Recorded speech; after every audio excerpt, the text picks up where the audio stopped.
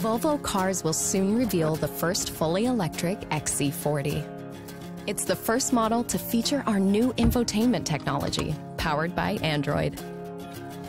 An open source operating system offers more apps and services for drivers to enjoy. Hey Google, send Kate my ETA. Letting Kate know your ETA is at 12:42 p.m. Google Assistant allows drivers to control in-car functions by voice. But if you leave again, just take me there with you. The fully electric XC40 is connected to the internet and comes with Google Maps and the Google Play Store built in, so you can easily download your favorite apps. Google Maps will help keep drivers up to date with real time traffic data, alternative routes, and charging station locations. Guys, I'm hungry.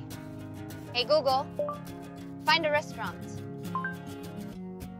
Geno's on Main Street is 8 kilometers away. You go strong, standing all The new Android based infotainment system is fully integrated with Volvo On Call, offering features such as monitoring battery level, remote locking and unlocking, and car sharing via a digital key.